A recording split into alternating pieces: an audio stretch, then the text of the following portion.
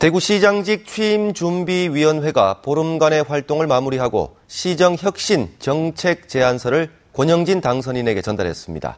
조직 개편과 취임 후 100일 과제 등 다양한 개혁 방안이 담겼습니다. 서성원 기자가 보도합니다. 민선 6기 대구시의 비전은 오로지 시민 행복, 반드시 창조 대구로 정했습니다. 120여 명의 위원들이 마련한 제안서 가운데 단연 눈길을 끄는 것은 조직 개편입니다. 경제 3국에 흩어진 경제 부서를 통합하고 기획실의 조정 기능 강화를 강조했습니다. 업무 조정이나 업무 이관 그리고 조직 개편을 통해서 그동안 산업별 기능별 분산된 조직 구조를 통합적인 어, 운영 전략으로 전환이 필요하다고 생각됩니다. 성과 중심의 인사 원칙을 세우고 특히 특정 연고의 승진 비율 제한을 두는 등 발탁 탕평 인사제 도입도 제안했습니다. 줄 잘 서서 대우받는 것이 아니라 일 잘하는 사람이 대우받는 능력 경쟁.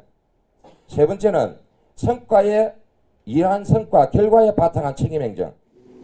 제1모직 이전터는 선제적인 검토와 대응을 동대구 역세권은 종합적인 개발 계획 수립을 주문했고 광역 마을 버스 도입도 제시했습니다.